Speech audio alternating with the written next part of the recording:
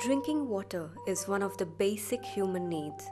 Today, access to drinking water is critical in remote areas.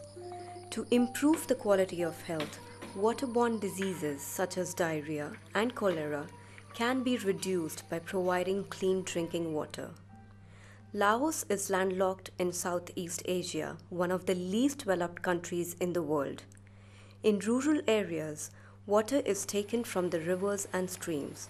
It has to be boiled, which is time consuming and damaging to the environment.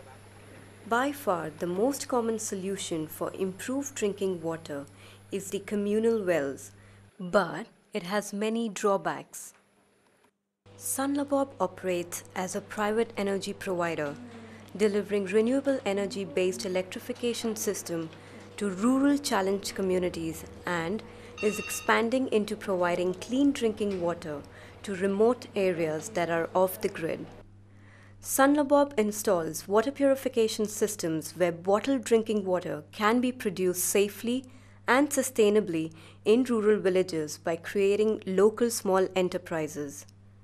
A public donor supplies the initial capital to buy a solar water purification system for a Lao village to pump, clean, and sterilize water. This system is owned by the village and is managed by a village water committee.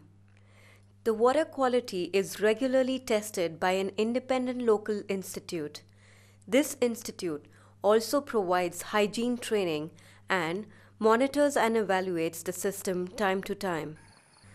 The entire water purification system runs on solar photovoltaic. Solar photovoltaic are essential for the water extraction and purification process as this is where power is generated in order to operate the water pumps. Water is taken from river, borehole or lake by using a solar powered submersible pump and is stored into a water tank. The water is pumped into a sand filter to remove large sediments. The sand filter also helps prolong the longevity of the main filters. The water is then passed through a series of filters to remove fine particles, taste and smell.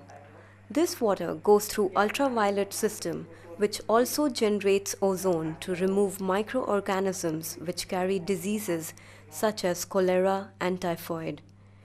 Because the water bottles are reused, the bottles need to be disinfected before they are used again. A solar powered electrochlorinator is used to produce sodium hypochlorite solution. This solution is diluted in water to disinfect the bottles. This is an international standard technology RSD 800 solar water purification unit which has a capacity to produce 5000 liters of drinking water per day. This clean technology helps improve health reduces greenhouse gas emission, and limits deforestation. In order to attain clean drinking water, a high-tech water purification system needs to be accompanied by an innovative operational and financial model in order to make the water affordable for villagers and commercially viable for the private business providing the service.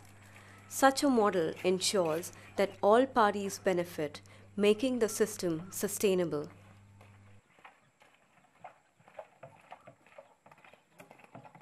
Following successful water purification system installation in Laos, Sunlabob is ready to meet unlimited demand of drinking water by replicating this system and operational model to other developing countries in Asia and Africa.